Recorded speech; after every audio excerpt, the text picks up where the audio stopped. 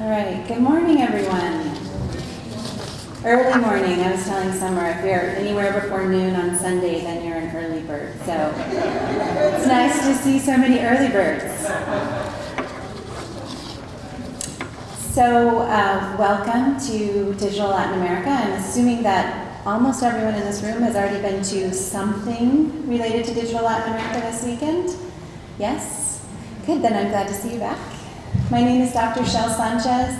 Um, I am a proud member of the 516 Advisory Board, and uh, previously I spent 12 years at the National Hispanic Cultural Center, and now I'm the Director of Strategic Initiatives at uh, the New Mexico Department of Cultural Affairs. So some of that is how I got here. You'll have to ask Suzanne later exactly which part of that. But I'm really honored to be moderating this panel this morning because language and linguistics for me were my first kind of academic passions. And then for a long time, I've had great fascination with technology and new media in art and culture. So I love the way the discussion today is really about all of those things together. And I'm also assuming, since you guys are here on a Sunday before noon, that those are passions that you share. So um, just before I start, real quickly, how many people in the audience saw the exhibit last night? How many of you have actually been through the artwork? That's great. The artists are going to take you through some of the art, so if you didn't see it last night, um, you will not be lost. So let's just start. Let me tell you who's here. I'm not going to read their bios because I know it's an educated group of people in the room, and so their bios are in front of you if you have the program. But we have with us Paula Gaetano Adi, right here, Matt Garcia, Paola Torres Nuñez del Prado, and Gabriel Vanegas. And all of them have artwork that's installed um, in the 516 exhibit. And then kind of in absentia, but we're going to give them a couple moments to speak, um, through their website is Cantoni and Crescenti, who, um, if you were in the exhibit last night, you'll recognize um, their piece, and it's also right here. This is a photograph of their piece. So they're also with us thematically and via the internet. So just to give you a little bit of intro into what we're, um, why we're talking this morning, um, I want to, I was thinking about this before I got here, and I think probably most of us in the room, and I know this because I've already seen about five or six phones up in the air taking video, is um, it's safe to assume that most of us are enthusiastic users and consumers of technology. And yet we probably share these collective concerns that many applications of communication technology are more isolating than connective. And that a great deal of technology that we've created for, for kind of connecting the masses may actually endanger the diversity of our languages and the diversity of our cultures.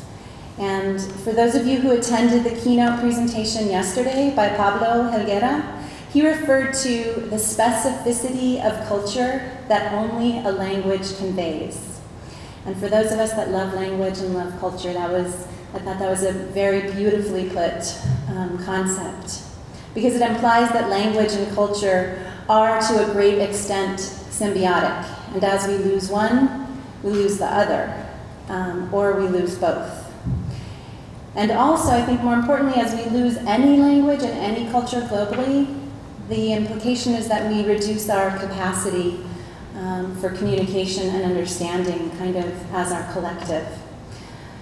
So, those are all very slightly depressing thoughts for those of us that love language and love culture.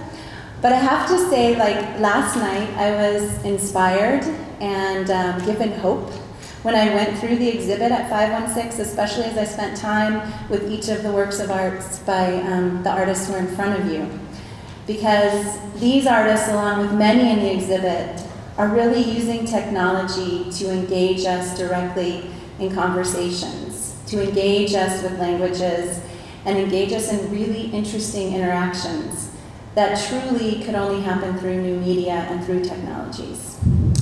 So if you, if you went to their pieces last night, or if you haven't been to really spend time with each of their works, I invite you to go back because they, through their artwork, are able to translate touch into sound and human speech into machine speech.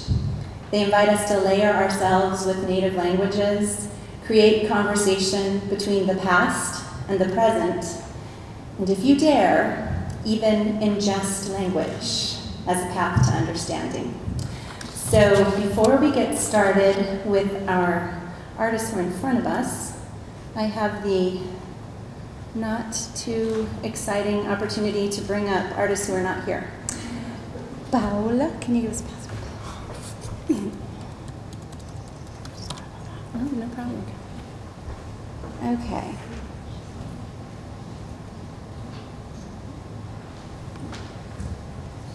Okay, Paula, you're probably gonna have to come help me. This is our this is the exciting non-planned portion. So these are the two artists from Brazil who couldn't be with us today. And this is their website. This is a it's a video. So we're going to let them speak to us. This is the name of their artwork, Fala, that's installed. Oops. I love language, technology, communication. So they may or may not speak to us today.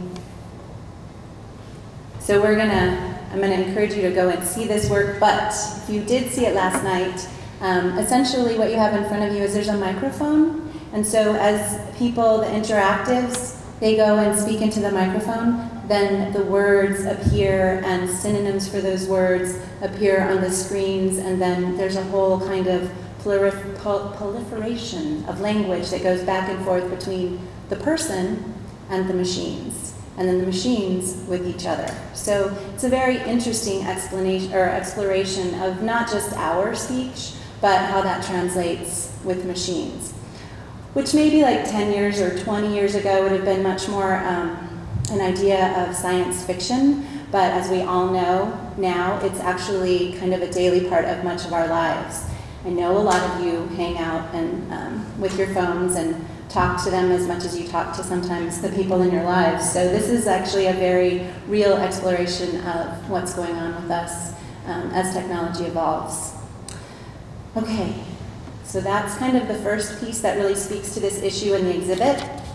Now I'm going to bring up Paula, and she's going to talk to you about ingesting language.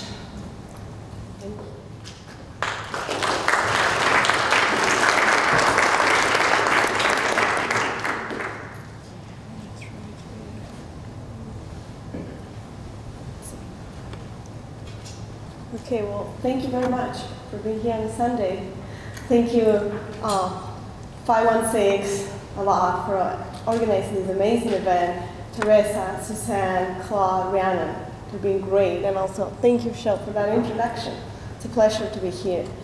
So I'm going to try to um, talk about the piece that I have here in the show, and I'm going to give you a little introduction to that, so to understand how I came to do that piece. And I'm going to introduce another piece that has to do with language, I guess, that is not in the show, but is related to the topic here. Um, so I came to the US in 2008 um, to go to grad school to do my MFA in new media and art and technology. And I came here with a pretty um, clear agenda. By that time, I've been doing, have been doing robotics, and I came here to just continue with that path, working on um, learning more technology, having access to technology that they didn't have in Latin America, and um, more access to knowledge and, all that, right? Um, and so, uh, in that sense, uh, my agenda was very much related to, to the topic of, of this panel, but in a different way. Uh, my intention, I was making machines, robots or intelligent machines, with the intention of um, uh, criticize or questioning, questioning the functionalist paradigm in artificial intelligence, questioning the Cartesian worldview of the good old-fashioned artificial intelligence. If you think about this tradition in cognitive science and um, philosophy of the mind, they think of language as the way that we express intelligence. We are intelligent beings because we have a linguistic capacity, we have a linguistic behavior. If not, just think of the Turing test or think of Oh, that's, oh, that's Fala. it's falando. Está falando. Oh, how? That was. Let me let me close that. Okay, good. That was uh, that was scary. It's talking about machines, right? so I was saying, right? This this tradition, this functionalist tradition, of thinking about the language for Turing, the language. It was our um, the language uh, capacity function. It was what makes us intelligent. And if not, I mean, I was interested in this because if you're thinking of a social imaginaries of what is an intelligent machine, right? We always think of this robot speaking. And this is a very much uh, social imaginary that is stuck in our, in our head when we think about intelligent machines. So I came to do uh, machines that can express their intelligence through the body, that could uh, establish a non-linguistic um, embodied communication with the viewer. My intention is to create an interaction, rather than interaction, an encounter between a human body and a non-human body and see what it could happen from that dialogue between these two kind of corporealities. So I'm just showing some example of this kind of work that I was doing. Um, and so in that sense, nonverbal communication, right, body language, better than words, was this um, tool that I use um, in order to open up the game. Nonverbal communication has this capacity of um, open up the game to ambiguity, to um, to a more emotional reaction, to a more emotional kind of a relationship rather than rational or logical, right? And in that sense, I think uh, it was, I was very much interested in the possibility of nonverbal communication. Um, and um, think about all the content uh, that uh, it comes with nonverbal, sorry, nonverbal communication. And there's a really wider um, set of intentional and unintentional meaning that comes along. And the signs are rather, um, needs to be like like the, the coding and decoding of those signs needs to be um, done by the people that is in that particular moment and that particular environment and is very much influenced by the context and all that. So this is me thinking through all the things and more in terms of uh, robotics. And I came to the US, so this is 2008, and rather than my body language or my nonverbal communication, my problem was my verbal communication. It was my linguistic capacity of expressing myself. So for those who came to learn a second language as an adult, you will know how frustrating this could be. I think there's two, mainly two kind of frustrations. One is this one of not being able to find the words, of having to accept that we're always going to speak the wrong way and not having the right words and having to think twice and always having this limited vocabulary where I know all these beautiful words I could say, but I don't know how to translate that. So, and there's also the frustration of not being able to be ironic or not able to make a joke. To me, it was just killing, you know. Uh, but there's also this other frustration, which is maybe a little deeper, where it's like not being able to identify myself. So there's this Paula that speaks Spanish, and then there's Paula that speaks English, and they cannot reconcile. Um, so in 2009, like right after, I came, like a few months after, um, I was in my studio and I have my Spanish English dictionary, and I grabbed it, I cut it, the I opened it in a Word, actually the A, like the first part, I cut it the English portion and I ate it.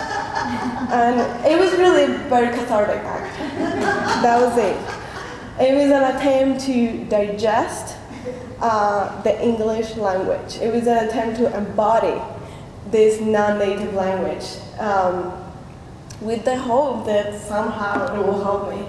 Um, and then, of course, I remember Oswald Andrade, Manifesto uh, Antropophaga from 1928, and it's a really beautiful manifesto about cultural cannibalism, where he says, um, it's there, uh, the best way to absorb um, the disparate, uneven, chaotic, and voluptuous reality of another culture is not really to imitate it or resist it, but to eagerly absorb it, to eat it, to swallow it whole. And he's talking in the literally, right? What the Indians, um, indigenous in Brazil did with the bishop of uh, Sabina. and so, you know, that was when I realized I really have to endure this action and do it every day for as long as I'm in the US. And that's what I've been doing. And um, this is the show I have here in, um, in 615, 6, sorry. Um, and it's, um, if we go back to the topic of the panel, which is through new media, I don't, um, I really don't know. I'm not sure what I could say about that. I know it relates to my practice of working with technology in the sense that I believe that language is some sort of technology, as Derrida will say, is a prosthetic supplement. I also believe that the dictionary is some sort of kind of technology as well. So it relates to me in that sense to technology. In terms of media, it, really, it could be done in another medium. This is really a performance. And video, to me, is just a tool to document. In that sense, aligns with the whole tradition of documenting an action through video that started, you know, the 60s and before that. So it, it really has to do with that. So in the exhibition, what you'll see is a two hour and a half uh, video, because a portion of all those actions, I think two hour and a half, are 79 days, 79 actions. And that's what you actually will see there. And this is like 49, I think, of those just slides. So the other piece I'm going to show that has to do with language is a rather new piece, rather different. Uh, it's called Se habla español. And, oh, it's cut there whatever.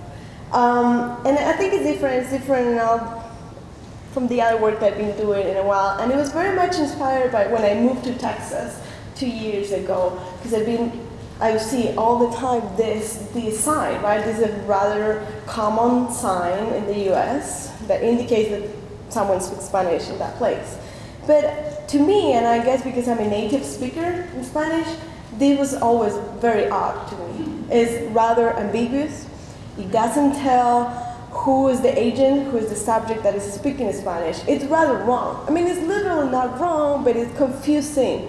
And so it kept me thinking about what could be the political or, you know, what are the connotation of, of having a sign that for the sake of saving works, um, produce some sort of ambiguity of not really telling me who is the person speaking Spanish.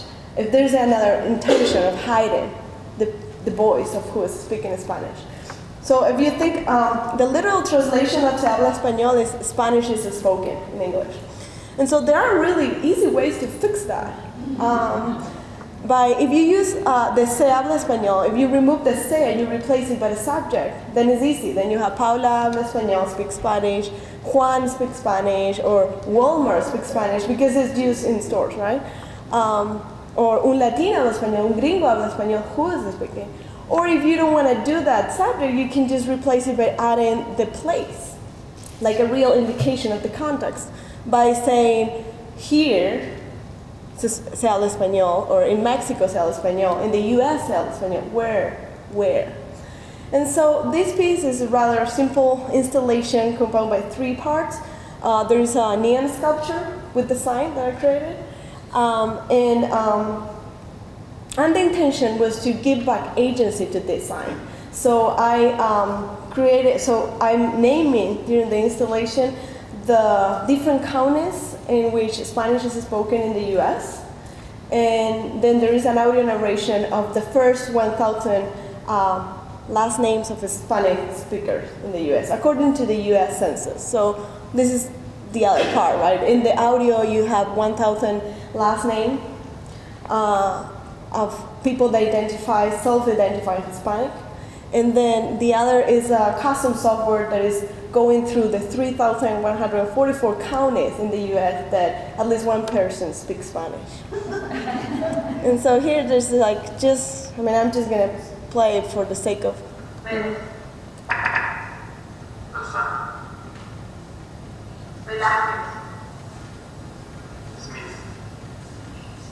Arias. Mora. De la Cruz. Oops. Oops, sorry. So this is really uh, what you hear in a way. Going back to the talk of the new media question in the panel, I think it somehow relates to the it goes along the lines of data visualization kind of project in a very different way. Um, rather than representing data, rather than doing um, synthesis and analysis of chunk of data, set of data, and then doing a visual representation through different methods of visualization or sonification, this is a time-based work. You have to endure the data. You have to be there and listen to the 1,000 names or seeing the 3,000 uh, counties, right, in the U.S. instead of like being this visual representation. So it was a, this little attempt to do. I mean, it's a small work in that sense. That's it. Thank you very much.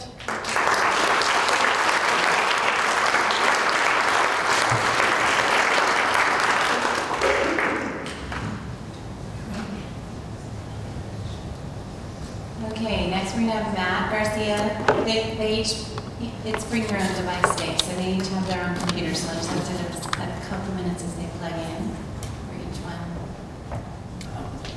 Uh, uh, I'm going to discuss the community language space. It's a piece that is um, in the Digital Latin America exhibit. Um, I wanted to thank uh, 516. It's a really, great experience. It's uh, real special when uh, this kind of uh, group is able to get together and I think uh, rare. So thank you. Um, so the uh, community language space uh, is a project that explores endangered indigenous languages and uh, specifically to um, the American West. So initially got me started were um, maps uh, published by, the, by UNESCO um, showing the, the, uh, the world endangered languages, and uh, worldwide there are tw- uh, 2,471 based on these UNESCO maps the U.S. has 191, the uh, west of Mississippi 153, and here in New Mexico 12. So, um, and this is a closer map of New Mexico. You can see this uh, cluster right here is um, in the Rio Grande Valley, which is um, home of the Pueblo people. And the black is identifying language that is 60. So um, the project started with this idea of creating a, a mediated booth where where the urban public in the West can kind of interact with these languages um, and kind of ponder their role in an age of extinction.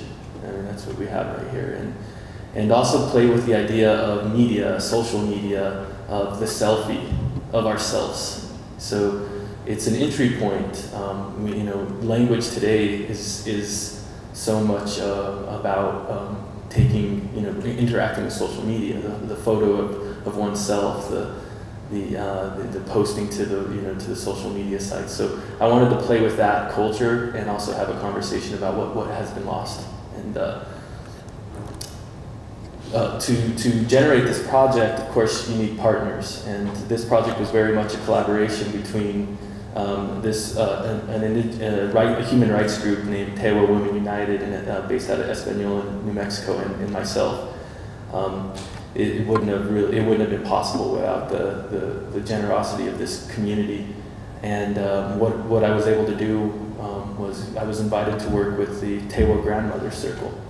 So they have, uh, the Tewa Women United have a grandmother circle where they're, uh, they're using the circle to have some of the elders in the community discuss language, um, kind of collectively um, document lullabies that are being lost in Tewa, oral histories, um, educational material.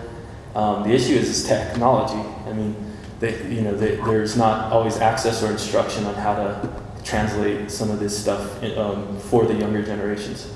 So I was invited to work with the Tewa Grandmother Circle to um, basically um, train a collection of, of the Tewa Women United community in independent media production and then also um, work on this language space. So this is just an idea of where we're at right here. This is Espanola right here. We see Albuquerque. This right here is the Rio Grande River, and this is kind of the head of it, the start of the Rio Grande. Um, from Taos all the way through here are um, several pueblos, and Tewas is spoken by I think six, and I, I have that up here. So um, yeah, so we have here we have six pueblos speak the the Tewa dialect. You can see there's, this is just Wikipedia, but on many sites they, they say up to 1,300 people speak it, about 30 fluently um, are left speaking the language. You see some of the numbers are very old here. So uh, we initiated these workshops, and uh, um, Tewa Women United we hosted us. Um, we invited the community, and much of the process was um, dialogue about media. Um, in these communities, media has been, um, is not trusted. And it is seen as a tool of colonization. And I mean, uh, working with the grandmother circle, you have, uh, you know, some of the elders who were in their 60s, 70s, who, who, who, were, who grew up being researched. That anthropologists, ethnographers coming into the communities their whole lives. So, so um, the media has always been, for them, a, a, a power structure. So part of the process was to try to um, some of the younger community in, within Tewa Women United train them in independent production so they can control the process, so they don't have to rely on an outside researcher or, I mean, the cost of material today is so, so affordable, um, you know, they could purchase the uh, kits and we came up with kit purchases for the community. It uh, was a learning experience because in this kind of context, I could come and bring a lot of material, a lot of um, technology, but when I leave, it's, it goes with me, and you know, then what? So we worked on trying to, uh, we designed kits, affordable kits for the community that they could, uh, that, that, they could purchase, and then I came back and we worked with the material they had, that they had um, um, purchased. So uh, a handful of the younger uh, group at the Tewa Women United got really good at this. They, we used all open source video editing tools, open source uh, audio tools, open source image um, processing tools. So everything, the only cost was, of course, the computers, but the software, there's enough open source software out there now where you can get a lot done without having to go through um, the, you know, the expensive um, software suites. And uh, so there's a couple now after the workshop there's a couple uh, members of the community who now can teach the others and, and they're the younger ones they are really excited about it they're really um, motivated. And the idea is now the grandmothers can go to some of the members of the Tewa Women United community that actually work for the organization and uh, get their stories documented and, and move forward with the, with the, the Tewa process, the Tewa language process.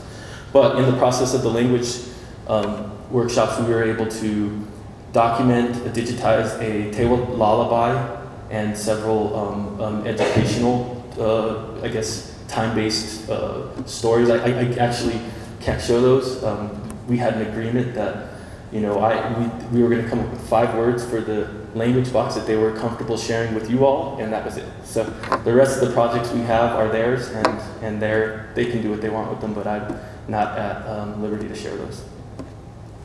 But they were really great, I can say that. so they were amazing. Um, so then, then the media bot. So then, you know, here, here's the space. Um, you know, the idea is people go in, you know, having their, uh, you know, their photo booth experience. However, they're also, they're, it's mediated, so they're hearing the Tewa uh, words we came, in, came up with. They're seeing the projections onto themselves. They take a picture. They can email it to themselves. And, and I, I debated on whether to have it mediated through social media, but I, after talking to the community, that was a little too wired in, you know. So we felt email was a safer route. And um, when they get the email, it has a link to donate to Tewa Women United. And it has information about the organization that helped us create this group, this project. Um, it has information on uh, the language um, issues within the U.S. And um, so it's just, a, it, you know, it's, a, it's an entry point to, to, to raise awareness about this issue and then also maybe to act. I mean, you know, uh, so this is from UNESCO. Uh, they say uh, that based on their, their work, they estimate that half of the 6,000 plus languages spoken today will, be, will disappear by the end of the century. So we talk about ecological issues we face, uh, climate change. This is, in, um, based on some of UNESCO's research, this stuff is related. So as all these things change, cultures, there's, there's endangered culture. And uh, here, and right here in the Southwest. So I mean, this isn't some global issue that you know we're detached from. We're, we're, we're in it, especially in the Southwest.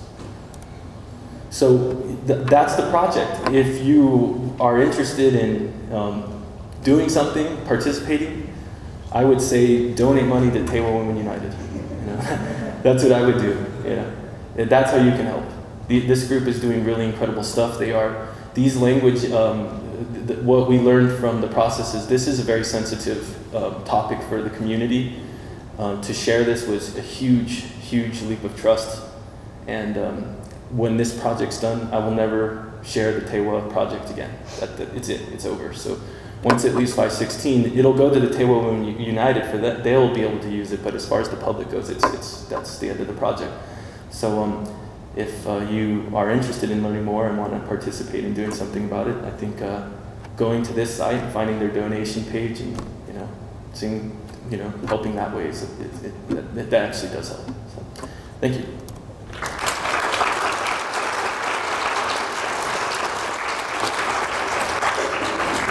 Thank you, Matt. Next we have Paula. Paula. Did you guys read? Because there's a Paula and there's a Paula. How was that? Good day. Um, well, uh, what I can say is that I actually come from a different background than uh, most of the people presenting pieces, I think, uh, in the show. Uh, I'm, I've been really formed more as a formal artist. I actually come from the background of painting, and I would say I still consider myself a painter. I just um, do it with different media now. Um, so with this project, actually this project is the, the project that made me um, transfer from one area to the other. So it's an ongoing project. It, it started in 2006.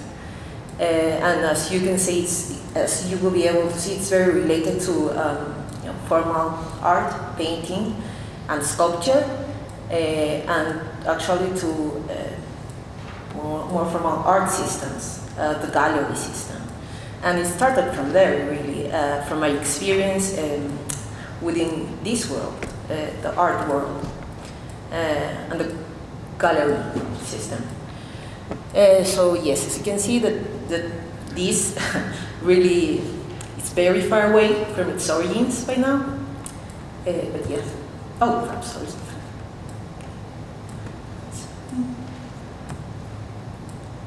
It's a little slow, my computer. Yeah. So this is how the piece actually uh, looked like initially. Um, now we changed the uh, the the code.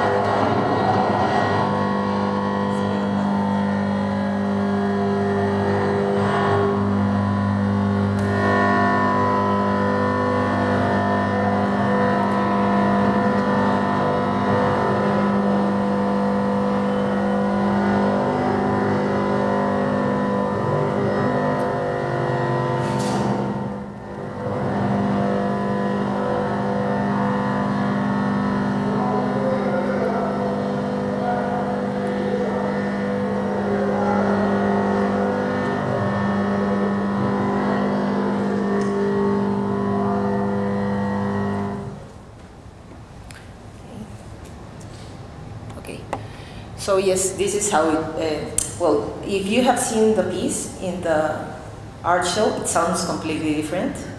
It's because uh, initially it was more related to a destruction of information and the code that I use now, which is not in maximum speed anymore, uh, actually has a structure. So then this is how uh, this started. So I was just, while I was painting, I was pondering about uh, what you know, the process behind the art system. So I took um, art politics as a model of social, the social world. Um, and uh, at the time I was uh, doing, a, well, reading a lot of hermeneutical texts. So uh, I, I started thinking out, nowadays, whenever you go to an art show, you expect a text next to the piece that would explain what is what is going on because sometimes uh, pieces are so cryptic that you cannot understand what's going on in there, and you really need this sort of aid. So um, from there, I um, thought, okay, so how can we know that really this text reflects uh, the real content of the art, if it's going, if it's meant to be a to have a content at all?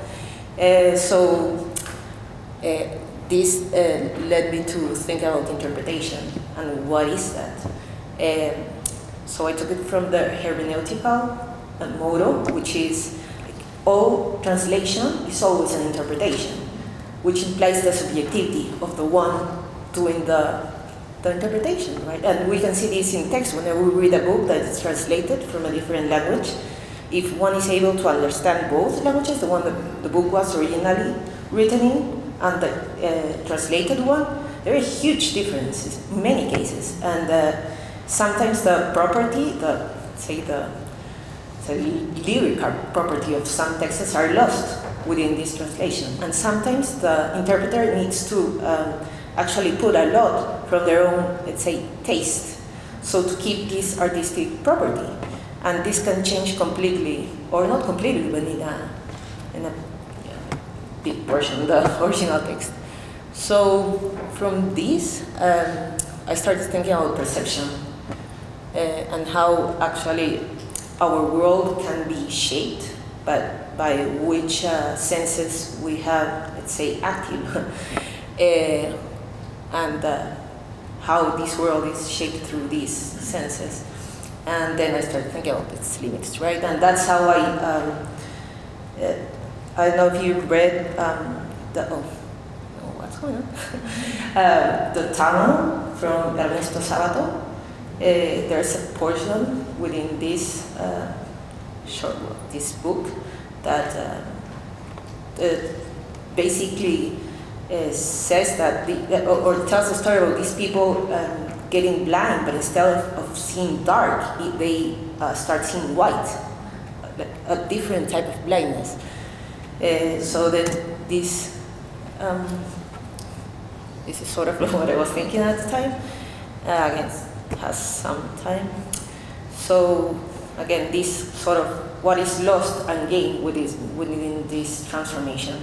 um, so of course there, uh, there is a potential power that lays upon the one doing the interpretation, which again can change uh,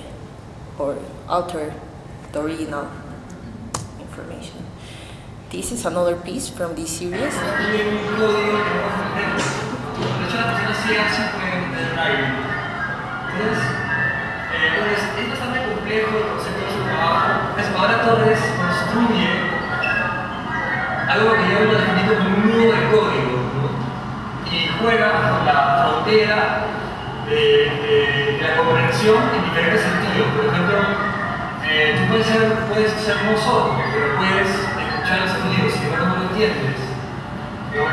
Puedes ser ciego, puedes entender el aire pero no tienes el sonido. En realidad es un, un juego de, de, muchos eh, códigos incluidos en, una sola máquina. El radio te remite inmediatamente a cómo los sentidos te pueden eh, limitar las percepciones en las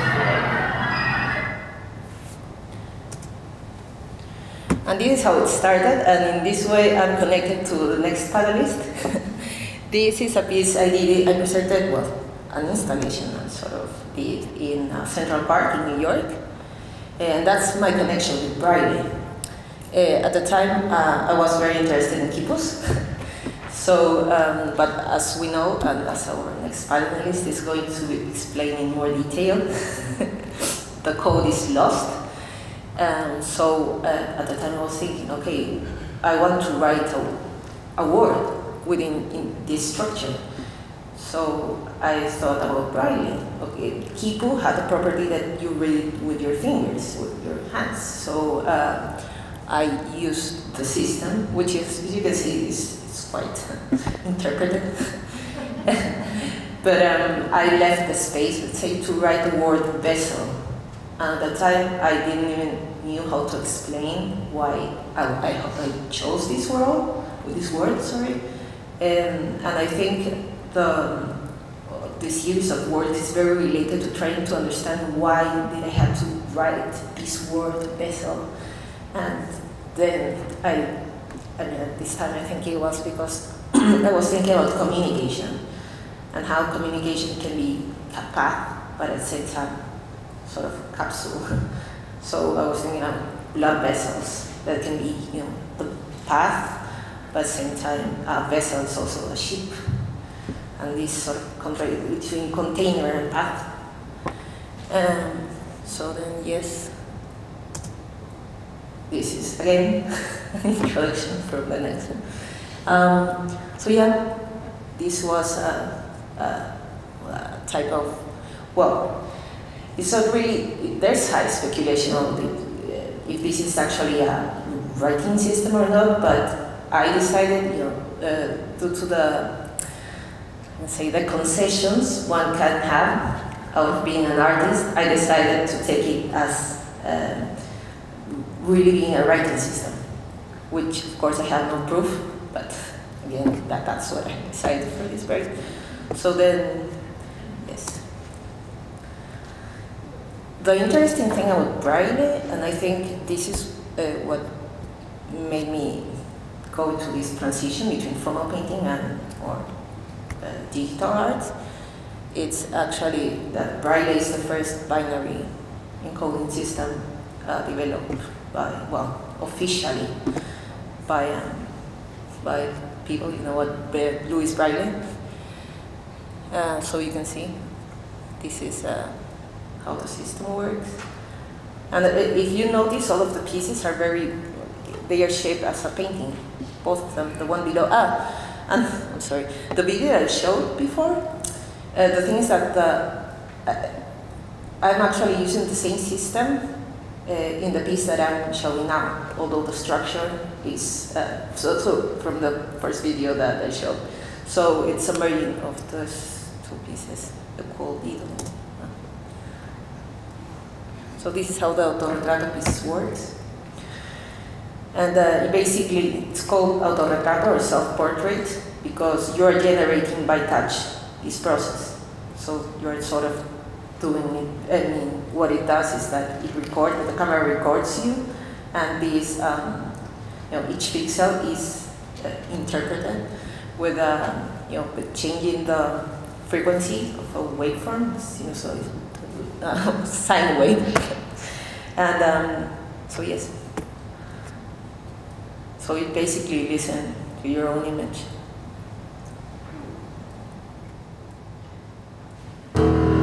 Oh, that's weird. So this is the text that it's in.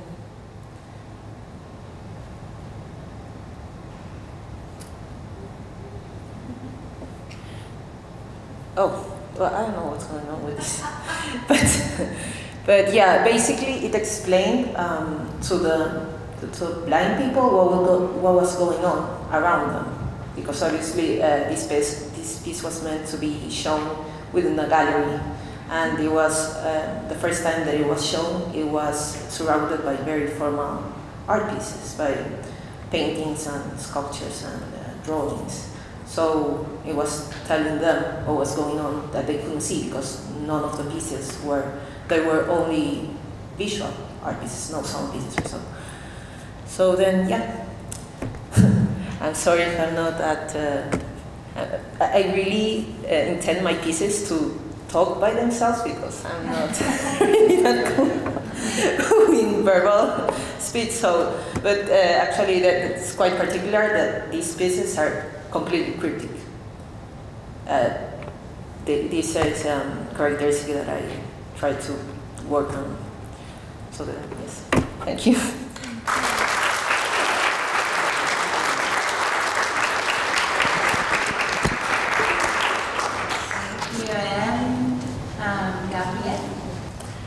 Well, good morning. How are you? Tired? well, uh, first of all, thank you very much for the invitation once again to the 516. They did an excellent job. They are the best. Like, uh, thank you very much for the invitation. They are really professional work how they did, and the exhibition yesterday, the opening was very nice. Thank you very much. Uh, I hope some of you saw my piece. I won't talk too much about the piece. Uh, I will maybe talk more like the background, how I got there in a way. And I will also like to reflect upon the what is the media um, that we are using for communication. Uh, also, I would like to start first with the name. I mean, we are in a symposium, and uh, the symposium actually is from the ancient Greek and means to drink together. Unfortunately, I, I drank last night in the opening, so I couldn't bring something to drink. But uh, that, that's the, the, the um, that's how the, the word came, and it was like a drinking party, um, where you have like uh, music, uh, people drinking a lot. Also, you have like some experts who were um, kind of um, mod, kind of designing the wine, how to, in, in, in order to, to, to, depending on the discussion, if it's something seriously or if it's something like, you know, depending on that, they, they had these people, the simple, symposiar, who were actually the technicians who were designing this media in order to, to, to allow the people to, to communicate themselves. also, I would like to maybe to reflect upon this place where we are now discussing, because I think uh, um, as our friend Marshall McLuhan said, the medium is the message, and for me that's very, like, still very profound. And uh, if we see the place where we are right now, it's like an isolated place. It's not. Um, I mean, the curtains are are closed. We don't see the light. We are not drinking and partying. Uh, we are sitting still. So all this, the, all of these things that um, that this medium, this place here, is influencing also our way of, of communicating. And um, so um, my background, I'm, I'm, working right now, I'm doing a PhD in media archaeology in, in Berlin with Professor Siegfried Zielinski. And I'm working basically focusing into the pre-Columbian history. So before the Native Americans discovered Columbus lost in the sea in 1492. Uh, I'm focused on this story and also I'm very curious about how was the media before the colonization of, of America. So here we see Columbus uh, coming here to the sea and also we see here some Spaniard like kind of driving this beast and kind of uh, teaching them how to, how to build their reality, their language. Here's another image from Diego de Rivera where we see how all the ancient knowledge was burned and after that, they start to teach them how to write and how to express themselves, even though it was completely opposite to their traditional way of communicating and also their traditional media of communication. Here we see how these educated um, indigenous are taught how to express and how to, to write their, their own reality. And it was also funny to see, to find these, these descriptions of like flying um, um, flying fish and, and, everything. It was like a really a, a, a, big distortion of, of their reality. But it was completely opposite to the way how the like the native um, um, indigenous from from America uh, used to communicate and, and the media that they use for communication. Here we see that they actually use a lot, they still use a lot this applying knowledge, like not decontextualizing, but more like working and exchanging and discussing in the place, in movement.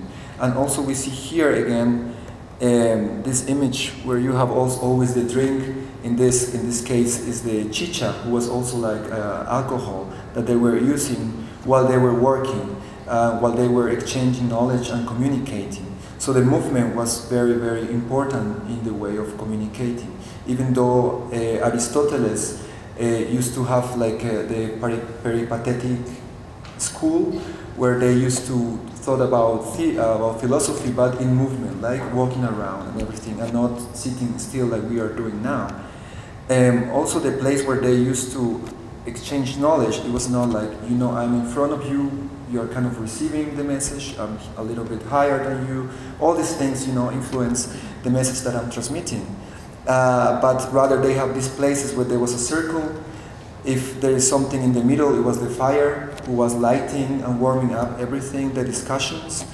And um, also, this is the Maloca. It's, it's the uh, sacred place for discussions and for like partying. Actually, they're still partying. I, I had the opportunity in the Amazonas to be there, and they, you have these people with, you know, like um, who are partying three days with children and everything, and they are just exchanging knowledge about medicine, about sacred plants.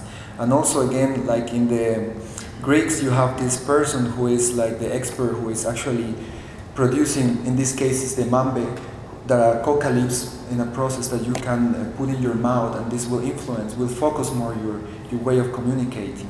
We know that alcohol, and that's why the Greeks knew about it, they mix it also with water depending on how you want to communicate. In this case, the mambe is very efficient, it's really high technology, it's a really um, very advanced technology for communication because it really focuses you, doesn't allow you to, to, to sleep, and also you have kind of um, a link to the place where you are producing this, these coca leaves. They know that they are producing in the house from some relative, so you know that this medium is also like was produced for you and not from some other company or something. And also very, something very important about it is that as pa Paola, Paula, as Paula was saying in the, in the, in the beginning, like this ingesting the medium, you know, it's not something like kind of is external to you, but it's actually you are you are you know ingesting it and you kind of become the medium in a way. Um, and you see, you find the same in uh, also like the hallucinogenic like medicine, like the ayahuasca, where in order to communicate with spirits and to communicate to yourself, to the inner self, you ingest this this high uh, advanced technology that is the ayahuasca.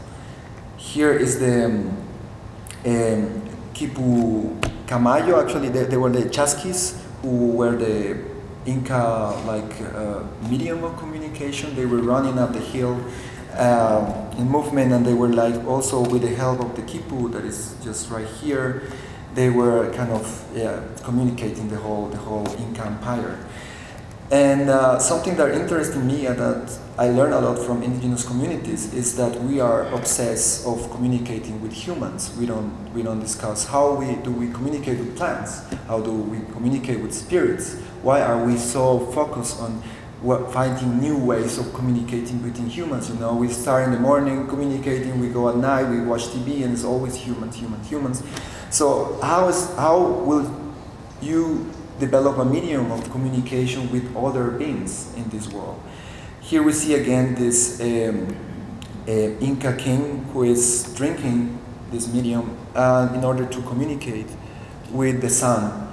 So they develop really, uh, they, um, they focus a lot their engineers and technicians and philosophers in order to develop ways of communicating to, with these spirits and with these animals even though they actually they developed their own uh, all the Inca Empire in a way that they could communicate with those spirits. This is Cusco, is in Peru, and this is the in the middle. This is the Coricancha. It was kind of the main building from the Incas, and from this point, from this center, they wrote like some lines that are called ceques. The ceques are like um, like um, a pilgrim uh, paths that they have to to walk during the whole year in order to, to walk there and communicate with those spirits, to, to ask them for more rain or if they want something. And they, uh, in different times of the year, they just, they walk these paths and they go there and, and, they party, they drink together, and they kind of communicate with those other beings. So this is also one of the, the images of the Inca Empire. This is called the Tawantinsuyu that means like four four sides. And we also that is very uh, that struck me here in Albuquerque to see this image. I don't know if you have seen it. It's everywhere. This is called the Chacana. And I have seen it in the whole Andes here and also in Indonesia. It's something like it's, it's really interesting. So I was interested in this way of communicating with other beings. So I went to Bolivia, and Peru, and uh, I went to a very remote place called Cosapa. It's close to uh, Chile and Bolivia, And you can see, you can only see those lines through a satellite. It is not possible to see it. And they have these perfect lines that they are actually like this, this pilgrim paths that they walk during the whole year. And it's also a, it's a way of communicating, but at the same time, it's also a way of uh, organizing the place where they live. So they, those lines are almost like 15 kilometer, kilometers. I don't know how to translate it to your your measurements. So this is me in that remote place, just with just some llamas, nothing else. uh, and they have this church in the middle of this old town. Actually, I was. They don't have like tourist people coming there, so they were kind of really impressed that I was there. Um, they just asked me, "What are you doing here? Here, when are you leaving?" So, they really, so it was really impressive to, to be there. Um, so that's that's the image that you get when you are there, when you are not seeing from a satellite. You know, you see the yam and then you see the lines, but you cannot really tell where they are. You know, this that's a part of the on the environment. So it's very difficult to, to walk them because you kind of you don't know how to follow them. It's, they are not really like like you see from satellite, these straight lines here. They are actually part of the whole uh, environment. So the place where they are eating, the place that they, uh, give them like foods and, and everything is also the place is the media that uh, that they use to in order to communicate with these other other beings. This is another image of the church that is in the middle. And if we also think about the church, the church is also like a, a, place for communicating with God. So it is designed in a way that we can go there and communicate. But in this case, they drew these, um, these lines so they could walk to communicate with those gods. So this movement, again, was very important in the way of communication. Here we see, again, some images it was impressive also to see how they drew the lines. It's a big mystery. We don't really know how they drew the lines because they are really perfectly aligned with all the like west south and so on. So after you start walking one of those lines, after like two three hours of walking in the middle of the desert, just with llamas and pumas around, you finally find one of, the, of these places. And this is like a secret place where you go there and they offer things and they start this communication with their gods. And it's really profound actually to walk through the desert. And also you start to think about many things in a way to, to go there and, and, and have this this profound communication with it of course the spaniards just took those places away and they just put some church on it but we still see here some stones that they are originally, originally from the original like sacred places that they used to use. Here, there's also like you get an idea of the of the lines, and it's also a question: Why did they had what? Why they wanted to, to build these perfect lines? You know, if you want to build a path, you can just go through the mountains also. So why is it? And some of them they, they told me that. Um, they had also like a big relation with these electromagnetic fields, like also with the sun, how it's projected. It's just just lines. So they maybe drew those lines because of that, and also with the relation of, of our body. Um, I think that's, that's one images. Okay, here's another image where you can actually see how perfect they are aligned and to, to come here to here, it took me like almost four hours, and you were really just alone there. And as I told you, they, they during the whole year they used to make symposiums, but with drinks and they dance and everything. And they go there and discuss many things. So just to conclude, this is also well related with the quipu uh, that Paola was, was telling also that the piece that I'm showing in 516 where you have this medium of communication that is the quipu that is also related to those lines in a way, the, the ceques. Uh, there is one codex called the Codex Blas Valera, where he also linked those, these two ways of communicating, the quipu and these paths of journeys that they, that they take to walk away. And that's it. Thank you very much.